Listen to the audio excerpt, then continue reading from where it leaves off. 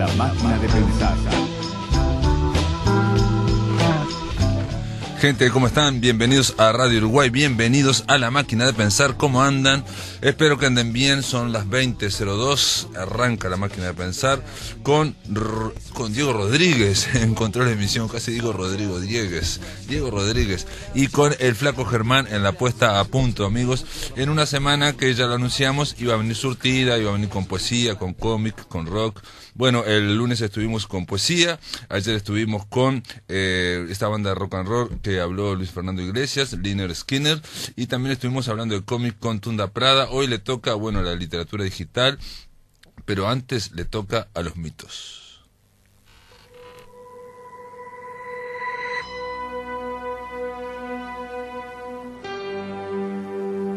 Cuéntame, Musa. Columna de mitos y escritura. ¿Por qué los mitos nunca ocurrieron, pero siempre están ocurriendo? Comenzamos un viaje lleno de monstruos, ninfas, dioses y diosas, de la mano de Gabriela Oneto.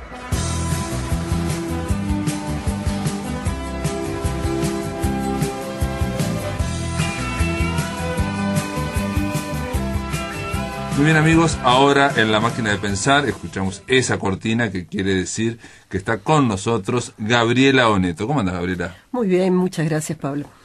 Bueno, Gabriela Oneto con su eh, columna de mitos y, este, y escritura, mitos y literatura, ¿qué, qué traes para hoy? Y hoy traemos Eco y Narciso. Eco y Narciso. Mira, o sea, por eso yo lo estoy repitiendo. Tal cual. Eco y Narciso. Bueno, otra vez yo lo voy a repetir. Eco y Narciso. Podemos seguir así, esto es radio. Eco y Narciso, sí, sí. Pero ese el problema era Eco, no, no era Narciso. Ese, claro. Pero bueno, hay que darle un poco de. Digo, Narciso acaparaba tanta cámara que hay que darle un poco. Sí, bueno, ahí, bueno, no vamos a hablar de cuota feminista, pero en realidad, pobre, la pobre Eco, es como, como que en esta historia está como, ¿no? Como y sí. se, se, se, dibuja con este totalmente supeditada de, de, eso se trata justamente.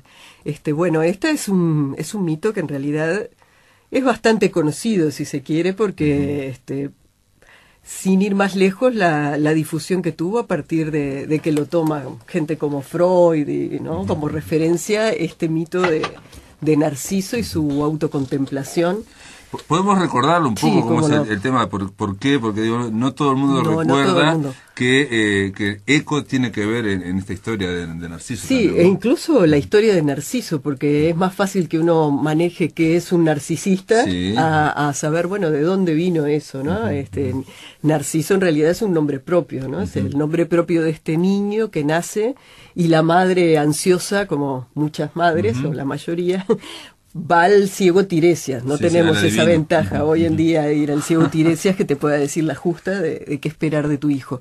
Y bueno, y su aprensión es si va a vivir hasta, hasta la ancianidad, si va a tener una larga vida. Que es lo único que digo, el gran miedo de las madres, ¿no? Claro. O sea, si, si, si, le va a ir bien, digamos, si no se va, a tener un accidente. claro, el ciego Tiresias, vidente, le dice, en tanto no se conozca a sí mismo sorprendente porque digo este los griegos no este, la famosa pórtico que decía conócete a ti mismo bueno en el caso de este en tanto no se conozca a sí mismo Narciso va a vivir, va a tener una vida larga. Claro, en realidad él, plantea un condicional, ¿no? Si A, entonces ve. Sí, sí, bien típico de los videntes también. Claro, no, no, no, se involucra. claro, claro. Entonces, la madre, bueno, esto es parecido a la rueca de la Bella, de la bella Durmiente, ¿no? La madre lo que hace que es, saca todos los espejos para que él no se vea y no se conozca. Lo toma en un sentido literal. Este que en realidad el mito eh, tiene un sentido literal. El niño hermoso va creciendo cada vez más guapo. Claro, y él la única forma que tiene de ver cómo es es por las reacciones de los otros. Porque él genera, mm, este, bueno, amor, pasión, adulaciones de todo tipo y bueno, llega a la conclusión de que es maravilloso, divino e insuperable. Y además que de alguna forma todo el mundo le, le perdona un montón de cosas y es condescendiente porque, bueno, la belleza tiene su, su, su alto impacto. Claro, claro, claro. En el caso de él, este, eh, solo puede guiarse, digamos, por lo que ve alrededor y alrededor ve, digamos, este, Y e, eso va generando en la adolescencia, en la juventud, una gran soberbia también. Claro, claro. Un engreimiento. Va haciendo este, construye su imagen en función de esos reflejos y esos reflejos lo muestra magnificado. Entonces, bueno, esa es una de las características, ¿no? Y las chicas todas enamoradas. Todas, las chicas y los chicos sería ah, en Grecia, ¿no? sí, sí, hay, hay, una historia con un chico también. no sí, sé, No, no, estuve, estuve leyendo, hay una versión romana, romana, que es con un chico precisamente, que eh, precisamente Narciso está tan seguro en esa versión que le regala una espada y este, este muchacho se suicida con la espada, ¿no? Y lo que se suicida frente a la diosa Némesis, ¿no? Pidiéndole que, uh. por favor, Narciso alguna vez conozca lo que es el amor no correspondido. Que eso ese es en el mito original es lo que dice Eco, ¿no? Este bueno, este este muchacho crece en esa en ese las ninfas del bosque están, eh, están fascinadas con está todo el mundo fascinado con él y, y, Eco es una de las que está enamorada una de las ninfas que era la, la había castigado por muy parlanchina a, este, a que no pudiera iniciar ninguna conversación y solamente este, repetir lo que, lo que el otro... Las últimas palabras del otro. Entonces ella no tiene manera de, de iniciar nada eh, con, con, con, Narciso. Sí, sí, lo puede seguir, mirarlo, pero no puede, hasta que él no le hable. en tanto él no le hable, no hay manera. Entonces este, ella lo que hace en un momento agita unas ramas y él, ¿quién está ahí? Ahí, y empieza un diálogo de esos absurdos, ¿no? Ven, y ella dice ven. Ven, y así, ¿no? Y este, hasta que al final, digo, él, él está en otra, él está... al final la descubre, se ve, no sé qué, aparentemente, pero él la rechaza, le dice, no, no, no, no, no, no, con, con el bello narciso no, no, no podés o estar. No, ni puntuás. Y a ella le, bueno, le da una vergüenza, claro, se siente horrible y entonces ahí hace esa esa especie de, de sí de venganza de, claro es un exacto es como una condena no este pide que claro que él este sienta lo que es ese amor en vano lo que el dolor del amor no correspondido claro. Y, el, y el rechazo y el rechazo. Y entonces acá viene esa esa como que se esconde en una cueva y, ella queda ella prácticamente queda relegada a su voz que su voz solamente es eso es al final eso es digamos con el desgaste por el tiempo va quedando como desencarnada no este eh, pero en, en, ese momento todavía es corpórea, pero no se vuelve a mostrar porque, bueno, ya había tenido suficiente rechazo de parte de él.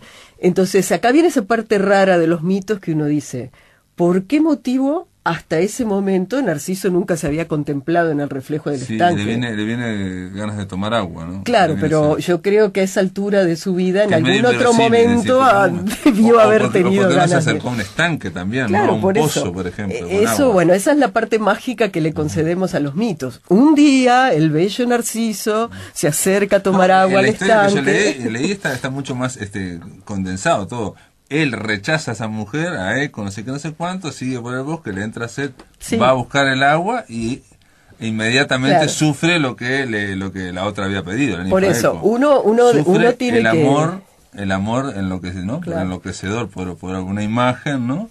y este pero que no le corresponde. Por eso, uno debe, debe, dejar de lado todo lo que sea la pretensión esa de, de coherencia y, y bueno, de verosimilitud, sí, sí, como en los cuentos de hadas también. Totalmente, no, tiene sentido porque uno piensa, bueno, pero el muchacho tendría pero 18 pero años. en realidad cuando lo pensás así es porque ya te estás distanciando, porque lo que tienen los mitos, igual que los cuentos de hadas, es que te envuelven y nadie, digamos, cuando estás disfrutando, nadie se pone a pensar. Sí, de hecho, eh, ocurre con las películas o con los libros del siglo Claro. Eh, llega un momento que uno suspende la incredulidad y no le importa. Y, después alguien te dice, no, pero ¿cómo fue? Y bueno, es que lo que pasa es que eh, no es literal, es metafórico, ¿no? En realidad, en ese momento es que él está preparado a mirarse y a verse. Entonces, bueno, él, él se mira y ve a un ser bellísimo, no se da cuenta que es él. Entonces, empieza a hablarle y trata de besarlo y se le desvanece y por qué me rechazas y, y al final entra en un mal de amor terrible de pasan días, él no come, no duerme. queda fijado en esa imagen. Queda fijado y hasta que a los dioses, bueno, dicen pobre y lo transforman en la flor del narciso que se mira a sí misma en el estanque para que, bueno, pueda estar ahí y esté ahí es más o menos al mismo tiempo es que Eco se va desintegrando y solamente va quedando la voz, ¿no? Este, la voz que repite. Entonces, uno queda fijo en su imagen y otro queda fijo en un, reflejo en de la un reflejo de los son reflejos de imagen y otra de la voz claro son reflejos son reflejos. En un caso de sí mismo y en el otro caso del otro, no eso es un es un es un amor desencontrado este, absolutamente, que no tiene posibilidad de establecer el contacto y la comunicación. este, y hoy lo que tiene de interesante, me parece, es justamente este fenómeno del narcisismo, eh, porque digamos que hubo como una especie de, de giro o de, o de vuelco desde el puro anonimato hacia el espacio público de cualquier persona. Ah, el narcisismo ahora, por ejemplo, con las redes y todo con Las redes, con el reality show, con los talk shows. Sí, con, toda la idea de que todo el mundo tiene que tener sus 15 minutos de fama. ¿no? Sí, hasta las autobiografías, por ejemplo. el derecho, digamos, todo, todo, el mundo quiere tener, y si no los tiene... derecho o, simplemente hay una especie de, de práctica, ¿no? Este, si uno ve, bueno no sé, las cuentas, hay cuentas enteras de Instagram, por ejemplo, que están destinadas a una exploración netamente narcisista, porque no es solamente narcisismo en el sentido de, de estar absorto, no, no es solamente estar absorto en, en mí mismo o en en las cosas que interesan, que me interesan de mí mismo como exploración. Por ejemplo, el lebrero siempre me, me, decía, lo que pasa es que vos no tenés asumido tu narcisismo. Me decía como una cosa reprobatoria, ¿no? Como que el camino era asumir el narcisismo. Pero él lo decía en un sentido de, justamente de, introspección, de, investigar, investigación, de estar absorto en uno, pero no en un sentido de verse la imagen este en como que generalmente cuando decimos el narcisismo en general este lo planteamos como imagen para los otros, ¿no? O sea, esta, imagen famosa de o, me saco fotos de estas gurisas, digo, todas las chiquilinas que se sacan fotos de los 13 años.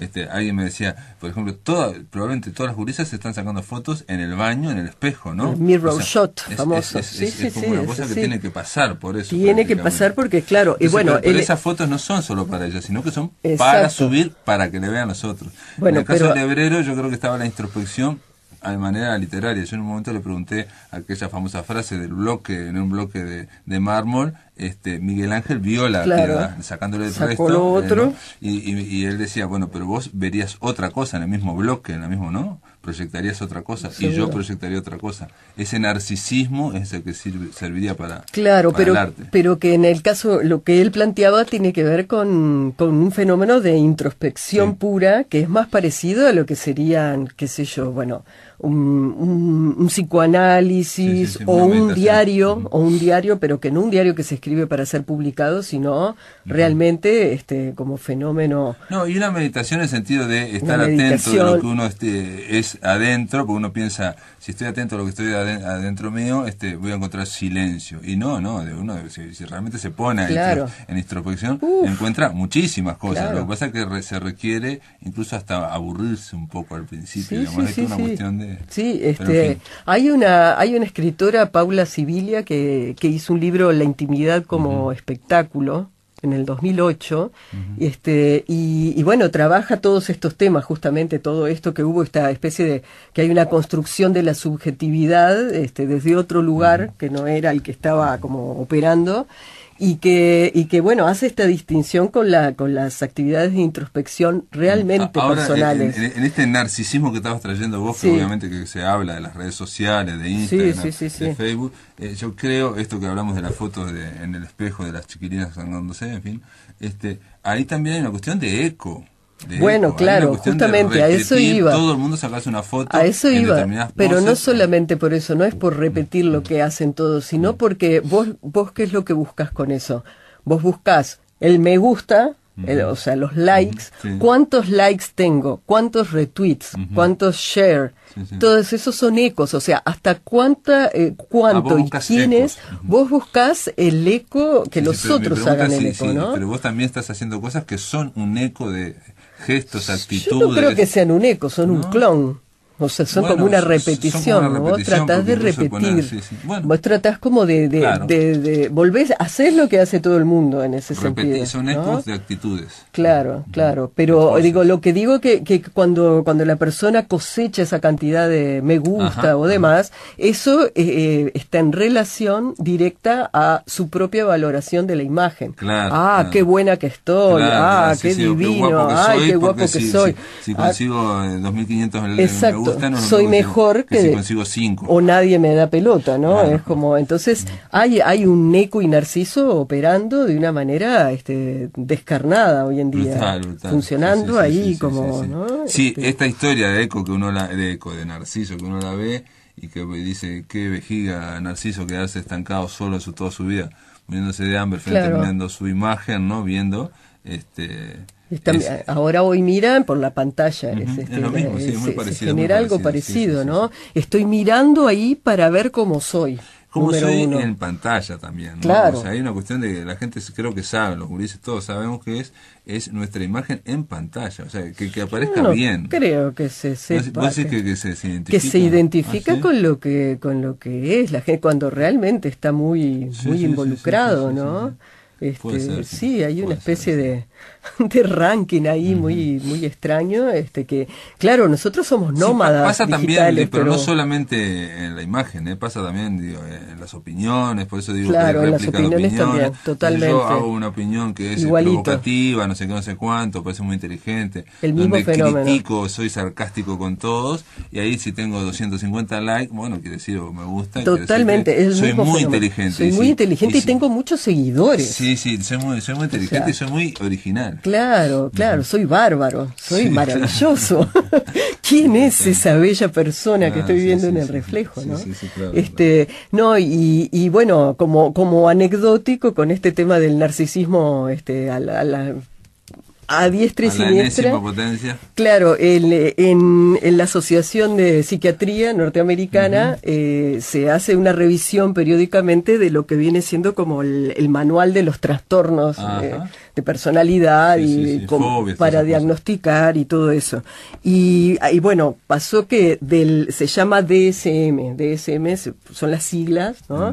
de es, eh, te digo, Diagnostic and Statistical Manual of Mental Disorders, DSM, los gringos le ponen sigla todo. Entonces, eh, del, del, número 4, que era el anterior, el que estuvo mucho tiempo, la versión número 4, se hizo la número 5 en el 2010 se publicó un avance, o sea, antes de publicar el oficial, que iba a ser en el 2013, se publica el avance y en ese avance este, todos estos capos que son los que, los que categorizan todo, sacan el trastorno narcisista de personalidad, ah, entre otros, lo eliminan. O sea, deja de ser un cuadro patológico, digamos. Porque ya no es algo, digamos, de una minoría, sino que es algo de una mayoría. No sé, esa es la impresión. Un comportamiento normal. Claro, lo pasan a, a, la condición de dominio de personalidad. Es como una especie de territorio de personalidad.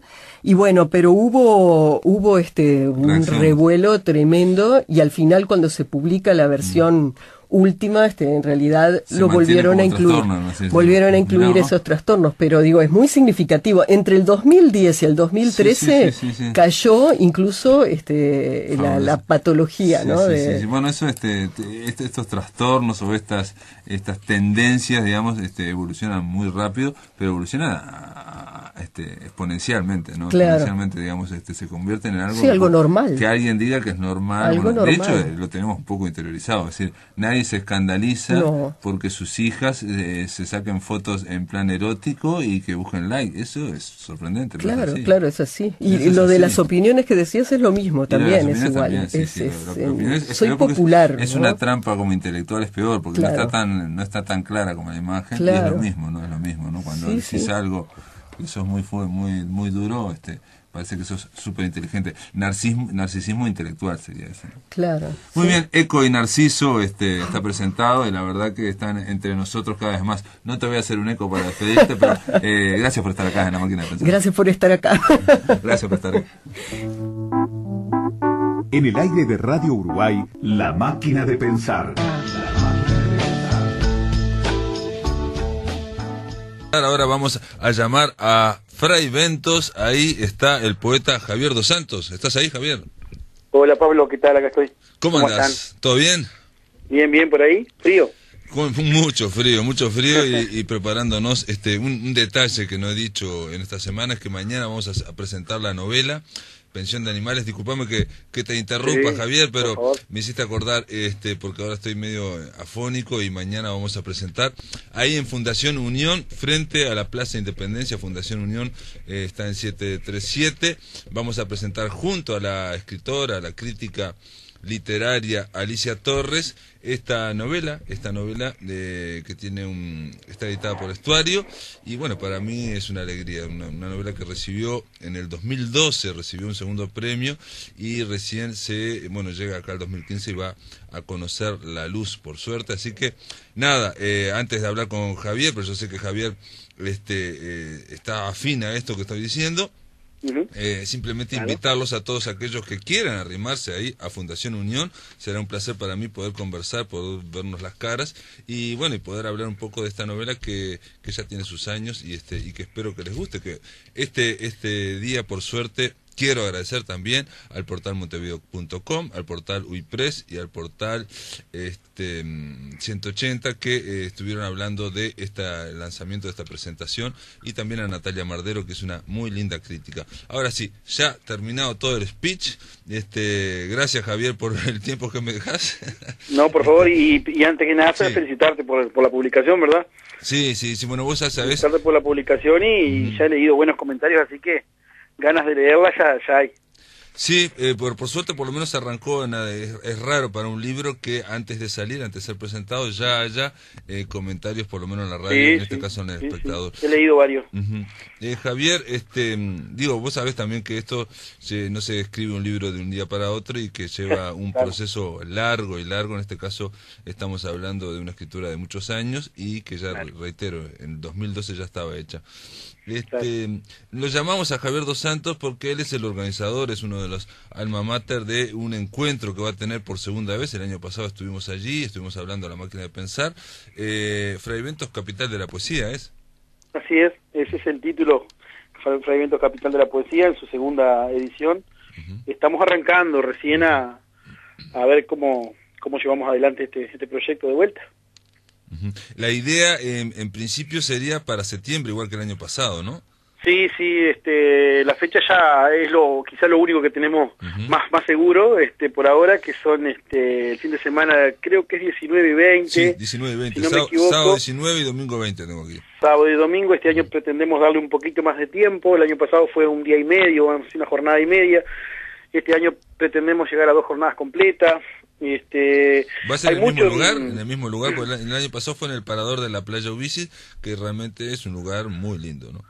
El, lugar del año pasado es muy lindo. eh, probablemente estamos buscando otro lugar por una cuestión, eh, por varias cuestiones. Quizá por un poco por el espacio también, porque queremos eh, llevarlo un poco más hacia la gente, viste que la playa Ubici está un poco retirada y hace que... Incluso el lugar el del año pasado es muy lindo frente a una un recodo del río, la playa Ubici, en un lugar muy eh, aislado, como decís vos, muy silencioso, pero era un lugar, digamos, que, que, había justo para los 70 poetas que habían ahí y realmente era muy introspectivo, ¿no? O sea, estaba totalmente alejado de la sociedad de Frevento en ese sentido. Claro, eso es lo que pretendíamos cambiar, digo, estábamos como que nos leíamos para nosotros mismos, este, pero no había, más bien que hubo público, sí, este, nosotros los conocemos. Y hubo un evento también de cierre en la Plaza Constitución, que yo no fui, pero vi fotos que estuvo muy bien el evento estuvo espectacular, digo, hasta hasta incluso los poetas se pusieron a bailar, este, fue una, un cierre precioso con la, con la banda municipal y ahí sí mucha gente se arrimó, pero pretendemos darle un poquito también más de, de, pueblo, digamos, a la, a la poesía y tratamos de que más gente que sabemos que le gusta, que está interesada, se arrime un poquito a escucharnos, a, a escuchar lo que hacen los, poetas, eh, a, interactuar con nosotros, a estar ahí, a, para que disfruten también de lo que a nosotros nos gusta hacer. Este, así que el lugar por ahora es, probablemente no sea el mismo, este, porque, por esa misma razón que te estaba diciendo. Estamos viendo, eh, esto se está se ha dilatado un poco porque viste que el tema de eh, la política no, nos afecta indirectamente también porque tenemos que ver qué hacemos con el tema dinero, es una, un gasto que, que se genera y nosotros solo como taller no podemos solventarlo ni, ni asumirlo solos. Este, si bien nos hemos movido mucho el año pasado también, se consiguieron muchos sponsors y hubo un gran apoyo, la Intendencia puso una parte importante de, esa, de ese gasto. Eh, vos fíjate que todo el que viene no, no, no, prácticamente no tiene ningún gasto, tiene todo pago, tiene alojamiento, almuerzo, desayuno, meriendas, no tiene que gastar nada. Entonces este, nosotros, justamente eso es lo que nosotros pretendíamos, que, que la persona venga cómoda, pase bien y no tenga que estar pensando en, en si le da para, para, para comer o no le da para comer, eh, o, o, lo que sea. Entonces, este eso se ha dilatado un poco porque, bueno, esperamos obviamente el cambio de, el cambio de mando en Ah, porque recién fue, este esto digo, está, está, ocurriendo en todo el país, ocurrió el 9 y el 10 de junio. Claro, claro, fue el 10 de junio, y, entonces, de, julio, perdón. Julio, julio. Entonces, claro, este, a ver qué, con qué nos encontramos cuando empecemos a golpear puertas, a ver qué apoyo tenemos.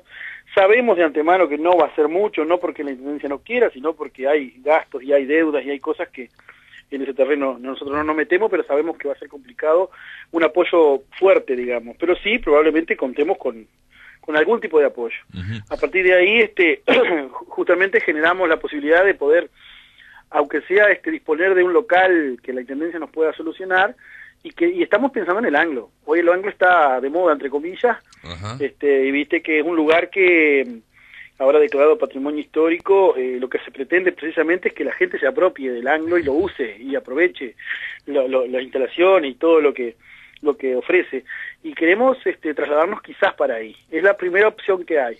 Y pero de, qué estamos ahí. hablando perdón porque hay, en el ángulo hay es un complejo. Hay, hay, por un lado está la famosa casa del gerente que es una casa sí, muy grande la casa grande lado, sí y por otro lado hay una especie como bueno donde se entra el ángulo digamos este a, a donde sí, están las que, oficinas del ángulo ¿no? lo que eran claro, no lo que eran lo, lo, los grandes galpones donde todo está adaptado ahora para para hacer usarlo como como sala de conferencia y otras salas más grandes como para, para incluso para recibir bandas de música, o sea, todo se, se ha ido adaptando y se ha ido este, mejorando muchísimo.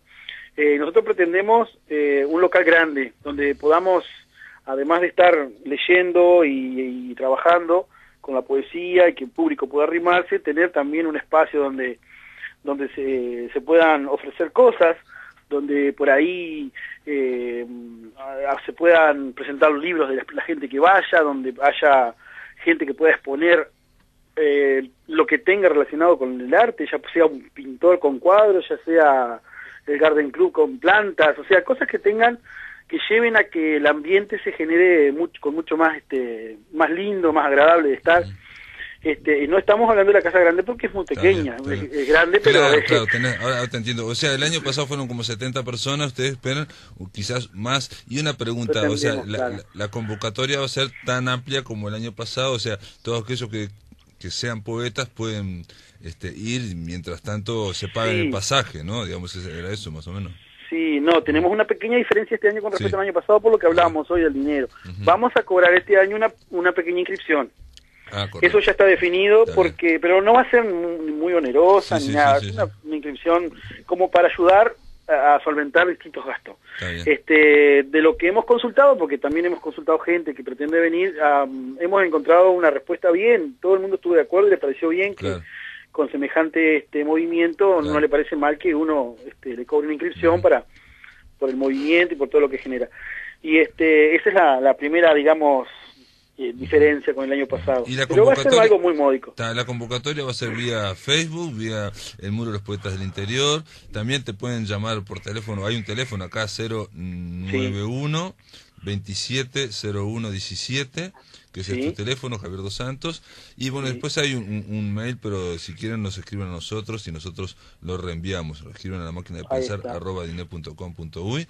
Reitero el teléfono 091 270117 y ahí pueden evacuar las consultas. De todas formas, estamos en julio. Esto eh, quizás eh, esté más definido cerca ya de, o por lo menos este claro. a fines de agosto, ¿no? Principios claro, los, de, los, detalles ya van a estar más este, seguros, más, más por agosto. Dale, dale. Bueno, este, Javier, eh, ¿algo más? Este, o... eh, sí, vos sabés que te iba a decir algo más y en este momento me, se, me, se, me, olvidó. Pero este, sí, ah, lo de la convocatoria, sí, pues, este, el Facebook por ahora viene siendo el, el, el, el móvil porque todo el mundo por ahí me contacta. Uh -huh. Fue, la, fue así el año pasado y pretendemos este, ampliar un poquito más el cupo también, ¿no? Que sea un poco más de gente, ojalá podamos llegar a a un poco más. y también vamos a ver si podemos contactar este, determinados autores que, de determinada relevancia para poder también que nos acompañe. Para hacer una mesa y cosas así. Incluyendo a Pablo Silva Lazaro, obviamente, como el año pasado. Bueno, bueno, Javier, eh, nos veremos en algún momento. Si presentamos la novela, ojalá que sí, hay eventos, nos veremos. Y si no, si presentas acá tu libro, también nos veremos en algún momento. Eh, seguro voy a andar por ahí. Te mando un abrazo grande. Eh. Igualmente, y gracias por, por siempre la atención, Pablo. Dale, dale, chao, chao. Que pasen bien, chao. En el aire de Radio Uruguay, La Máquina de Pensar.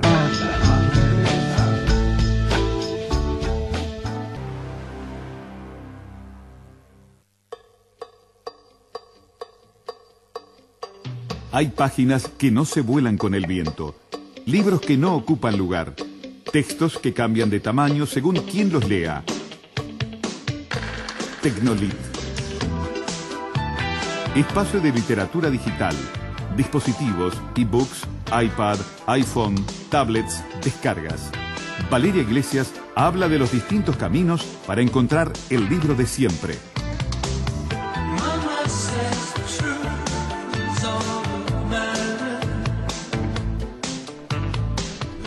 Muy bien, esto significa que del otro lado de la línea, en Buenos Aires, está Valeria Iglesias. ¿Cómo andas, Valeria? ¿Qué tal, Pablo? Bien, bien. ¿Qué tenemos con columna cambiada, digamos, Valeria sale Estamos desfasados. los jueves, pero ahora sale eh, hoy porque el jueves no pudo salir.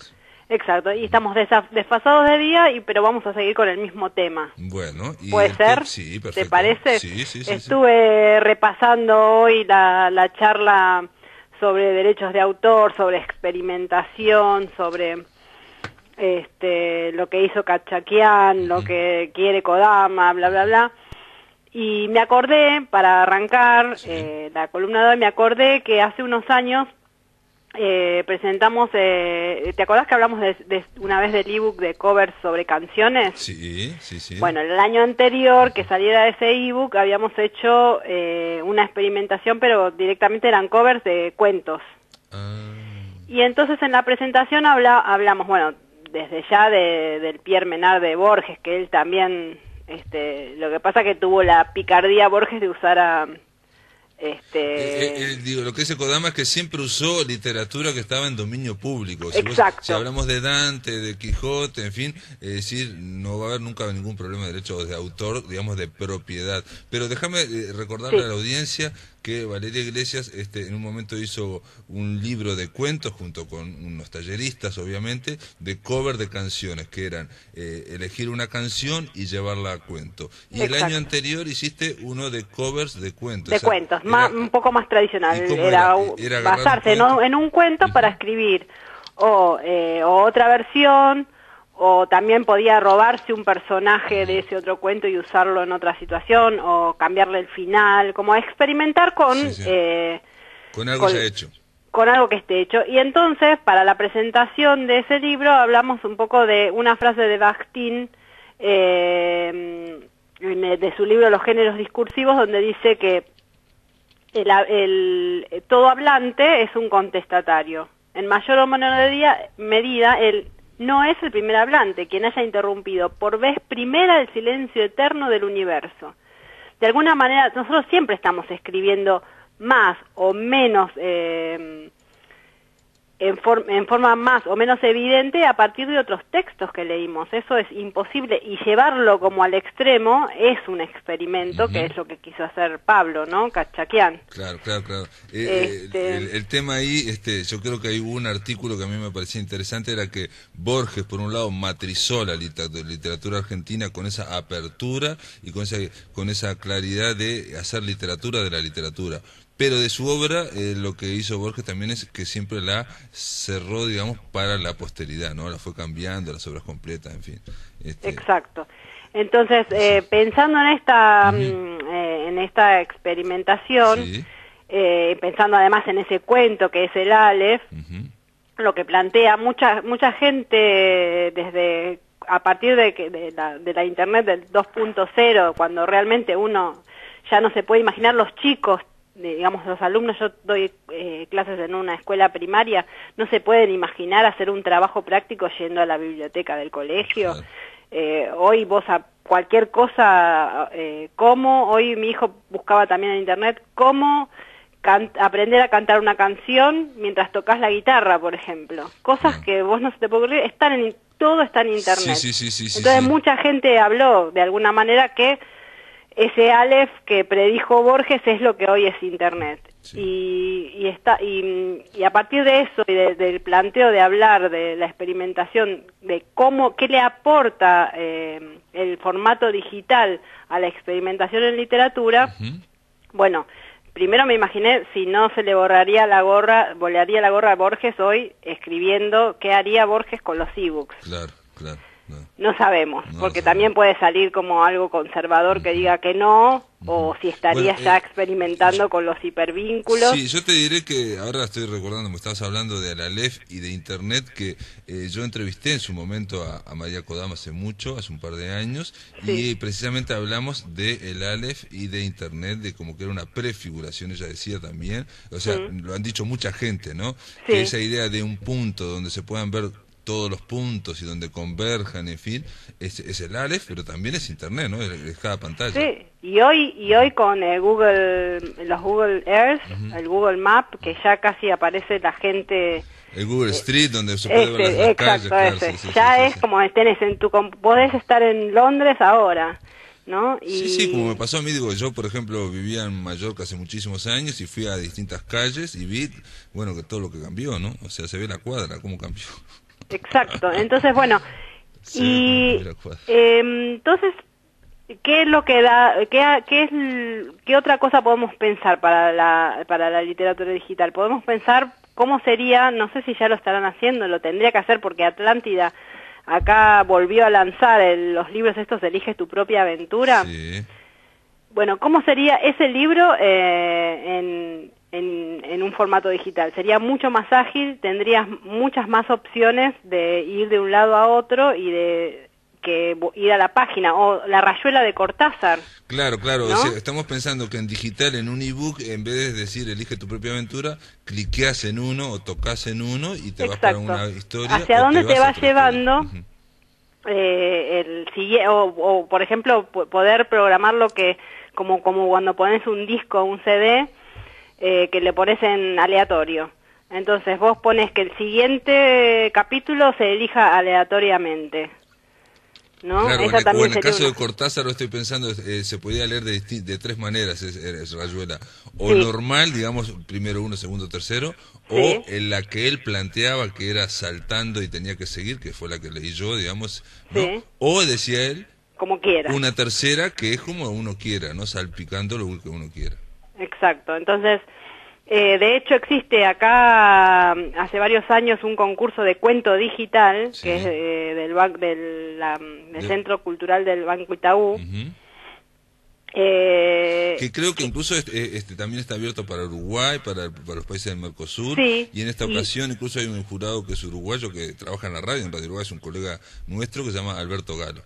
Mira, y este año además te digo, para vos y para mí, eh, ya no pusieron restricción de edad, porque antes era como hasta 40 años. Sí, era para o, 35, era para, para jóvenes, digamos, escritores jóvenes que recién empezaban, algo así. Exacto. No, había dos, dos eh, grupos, de los sub-18 y después de 18 a 40. Perfecto, ¿y ahora? Y, ahora no hay restricción de edad. Y lo que plantea este concurso es, vos podés mandar un cuento común y corriente, hay una, limitación de caracteres, pero o, como es un concurso de cuento digital, podés aprovechar eh, lo que el formato te da. Entonces ahí pueden aparecer los hipervínculos, uno puede construir un cuento de alguna manera que salte eh, por cosas adentro. O, por ejemplo, va esto no sé si, si después me van a retar en, el equipo de Outsider, pero está por salir un libro de mm, Yamila Beñé que tiene un cuento que termina con un hipervínculo a, Wikipedia ah. que cambia todo el sentido de lo que leíste, por ejemplo. O sea que ese cuento, digamos, hay que leerlo en, un, en algo que tenga internet. Estoy pensando ahora, ¿no? Exacto. en, un, en, un, en, un, dispositivo, que, se que se conecte a Internet. Que en general la mayoría tienen, pero hay algunos que hay algún papire, por ejemplo, que yo tengo, que eh, tiene un vínculo muy muy muy débil con Internet. bueno, eso por ahí lo resolvemos viendo si... También, no, no, pero está bien, digo, porque digo, eh, eh, con digamos, la conexión con Internet eh, va a ser cada vez mayor, digamos, ¿no? El cuento uno no lo hace para ahora o para pasado mañana, ¿no? Lo hace para ser leído mucho tiempo. Hmm. Y, otra cosa, este pregunto, es que para este concurso Itaú, eh, en esas dos categorías, hay una categoría para experimentación digital, ahí no, no entendí muy bien cómo es. Sí, no sé cómo, eh, hasta el año, este año cambió. Mm cambió esto al incorporar, no no me detuve en ver las bases de este año. No, yo lo estuve leyendo y hay, mm. hay un, para cuentos tradicionales, como los que... Ah, los separaron, antes era como... Los publica Outsider hasta ahora, salvo este que estás contando, mm. eran cuentos para ser leídos en digital, pero cuentos, digamos, normales. Y, y, ellos ponen, esa es una categoría, y la otra categoría, que también pueden ser ah, colectivos, pueden ser de autores colectivos, un autor colectivo, es con eh, recursos digitales y dice plataformas y, y, al final dice que para dar los premios hay que darle este o sea los digital los que tienen recursos digitales no se van a llevar todos los premios pero pero están asegurados, están asegurados que un premio se van a llevar. Quiero decir que ah, mira, eso, si el año, eh, hasta el año pasado con recursos digitales, digamos, van a tener más posibilidades que si se presentan eh, 1.500 cuentos normales, que porque van a estar compitiendo los 1.500 y los otros tres por otro lado. Claro, sí, el año pasado es como que era, estaba todos en un mismo, en una misma categoría, como el que quería podía explorar. Ahora, también es cierto de que todavía, digamos, que promete mucho más de lo que hasta ahora es el, el formato del ebook, el EPUB, por ejemplo, ¿no? En donde en algún momento también se podrán, y esto también tiene que ver con la evolución de los dispositivos, se podrán incorporar incluso videos, música, ¿no? Y, y, después le agregamos un, un aromatizador que te tira. Ese sería el que falta. Por ejemplo, en el, en el libro en el libro de cuentos de Jorge Churio, uno de los cuentos termina en un cómic, por ejemplo, una historieta. Que este eso podría ser una historieta o podría tener este, en la presentación aquí cuando hablamos en la presentación, el nieto Felisberto Hernández le planteó que uno de los cuentos también trata sobre Pulp Fiction, ¿no? Y se está mencionando eh, era sería posible imaginar que las escenas que él va mencionando se puedan ver al costadito, por ejemplo. Por ejemplo, por ejemplo. Bueno, ya tiene una ventaja que tiene que no es la experimentación, pero sí que favorece sobre todo cuando uno lee en otro idioma, es que vos vas viendo lo que significan las palabras en el momento, tocas y te sale el diccionario y, digamos eso favorece mucho la lectura, esta interactividad que tiene para cosas prácticas también se pueden explorar para otro tipo de, de cosas, eh, ¿no? El toco acá, el toco... O sea, es la idea, amplía la, la, la, experiencia lectora en el sentido de que a veces nos ha, nos ha tocado ir leyendo una novela, un cuento, y nos encontramos con una palabra que no sabemos. No siempre dejamos el libro y vamos al diccionario a buscarlo. Muchas veces pasamos de largo y seguimos leyendo, ¿no? Aquí, si a alguien le pasa eso, toca esa palabra en un, en un libro digital y le sale eh, la definición. Y después hay otra otra experimentación que sería, volviendo a Borges, que él también lo planteó en un cuento, el libro de arena. Se el libro de arena, no sé si lo tenés leído el cuento, eh, cada vez que uno abre es distinto las páginas. O sea, no se puede volver a leer lo mismo que uno leyó. Nunca se puede volver a la misma página, porque uno la abre, tiene un número infinito de páginas, y cuando uno pasa la página, cuando quiere volver, ya hay otra página. Exacto. es, como bueno, ¿cómo se podría lograr eso con un con un cuento digital, un cuento que cada vez que lo abrí, que tenga, digamos, ya requiere como una pequeña programación. Sería más que un archivo, sería como un programa. Sí en donde cada vez que lo encendés, lo, lo pones en tu dispositivo o lo encendés, se cambió algo, se hizo una rayuela, se hizo una alternativa, digamos, de rayuela. Correcto, correcto, correcto. O, o se, Entonces, vos o la lees de un tirón, o, o cada vez no sabes qué, qué es lo que cambió, ¿no? Me quiere volver loco Valeria Iglesias, yo quiero leer un cuento y sin embargo cada vez que voy, o también el tema de el cuento interminable, ¿no? La historia sin fin, ¿no? O sea, uno vuelve a leerla una vez y otra vez y siempre es diferente. Exacto. Una, yo ahora no quiero hablar de más porque no lo, eh, no lo exploré, pero tengo algo visto que anda por ahí. Eh, una novela de ese tipo me parece que es eso lo que entendí en la presentación y me lo bajé y voy a leerlo. Bueno. Y después, si, si estoy en condiciones, no lo prometo, pero podría llegar a ser para la próxima. Bien, bien. Lo, que es claro para terminar, Valeria, y yo lo comentaba, que las artes visuales han avanzado mucho en el collage, en la intervención, en la programación, en fin, en el cambio, y la literatura en general no ha avanzado tanto. Esto de cachajean, de intervenir un texto, digamos, este puede armar polvareda, en fin, y esto que estás hablando vos también puede eh, estamos recién en los umbrales, ¿no? Todavía no no se ha juntado el recurso digital con el talento, ¿no? Que para que sea una y cosa con, y con las leyes que, que den camino.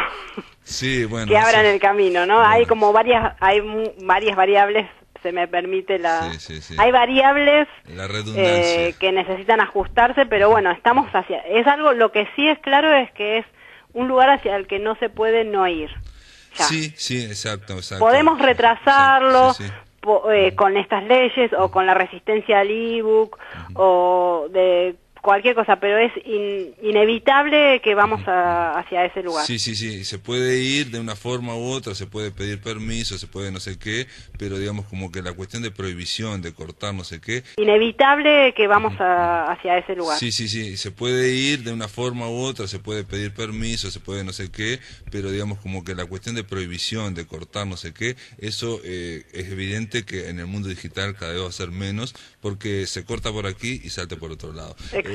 Valeria Iglesias, gracias por estar acá en la máquina de pensar. A ustedes nos vemos. Te, invitaría mañana a la presentación de mi novela, pero como sé que de Buenos Aires ahora no sé si vas a venir. Voy, este, eh, voy me tomo. Si fuese, bueno.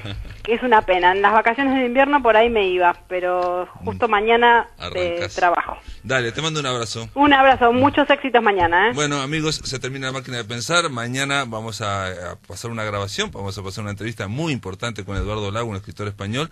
Y ya saben, están invitados para mañana. Que lo pasen muy, pero muy bien.